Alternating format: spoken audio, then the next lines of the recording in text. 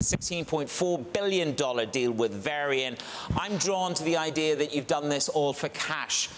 How risky is it to do a deal at this moment in time, all in cash, $16.4 billion? Why did you go for a cash deal? Well, Manus, first of all, thanks for having us, having me. Um, the, I mean, it is a combination of a, of a cash and um, equity raise, which will follow in due course. Um, and um, this equity raise um, will create also additional free float, which eventually will lift us in the DAX. we are very certain about this transaction. It's the right time. and we are also super confident about financing. Bernd, great to speak to you this morning. Um, as we speak, we've seen over the weekend tensions increasing between the US and China. Um, China is an important market for Varian. How are you planning on navig navigating those tensions? Yeah, Nejra, thanks for the question. I mean, healthcare is, uh, MedTech is global, um, and um, Varian is um, a global company. I mean, with footprint in in China, as as also Siemens Healthineers has footprint in China, uh, with a uh, very uh, strong position in China, uh, with a unique uh, uh, strength also. more than 50% market share. It is they are catering an enormously important um, part for healthcare in China. So I'm, I'm very, very certain that when it comes to an essential topic like people's health, yeah, this will not be an issue uh, politicians will touch. Bernd, when we look at your relationship with Varian, it, it has extended um, over the past number of years, mainly in the radio radiotherapy diagnostics. So there's the complementary side of the business there, MRI and CT scans. Where will the biggest synergies come from? What's going to drive this deal forward? So we have chosen the tagline one step, two leaps for this transaction.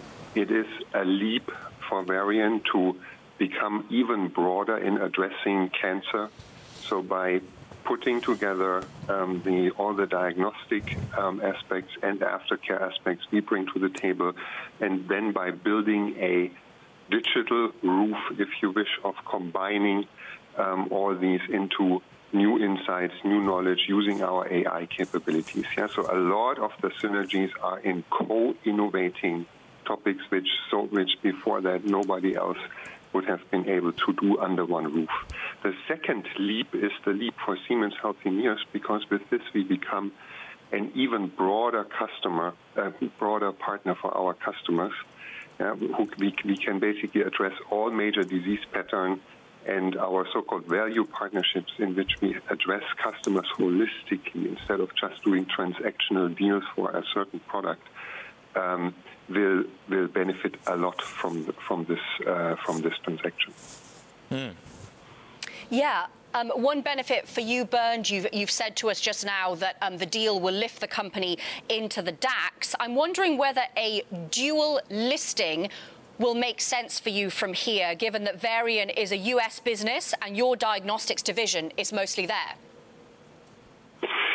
Um, we feel very comfortable with with, uh, with the listing we, uh, we, we have in, in, in, Frankfurt, and I think there is uh, so far we have not heard any uh, let's say uh,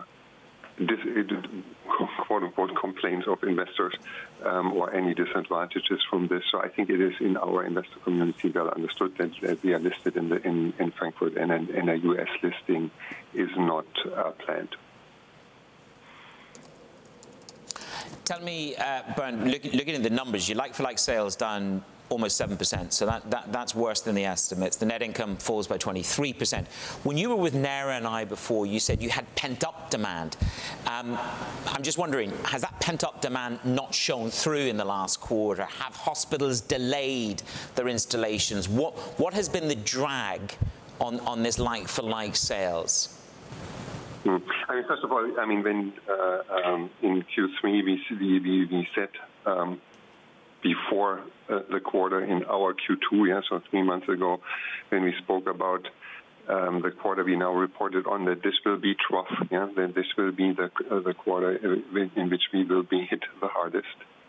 Um, we will we see we, we are confident yeah that uh, we have the worst behind us.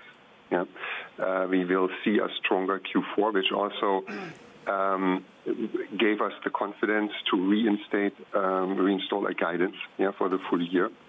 Um, so um, from that point of view, as I said, the worst is behind us.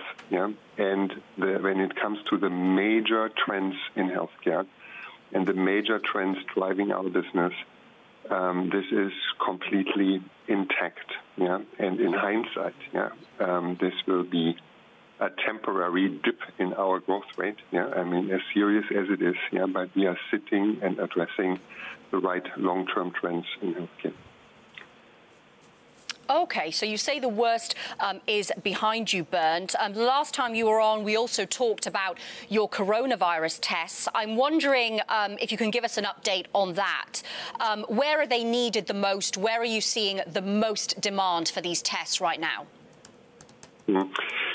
Yeah, thanks for the question. I mean, um, on the corona uh, test side, I'm super proud of what the team has done in terms of innovation. We have a molecular test. We have um, we have now two serology tests. We have an antibody test, yeah, which is um, one is, um, yeah, and, and, and we even now uh, last week um, got the FDA clearance for the first semi-quantitative um, antibody test. What currently is is still a debate, and we can um, is in let's say in, in, the in, in the medical community as well as in society. What is the, the clinical value of antibody testing. Yeah, what is the message you you you, you take from it? Um, and from that point of view, we see a relatively slow uptick of this in our numbers. Yeah.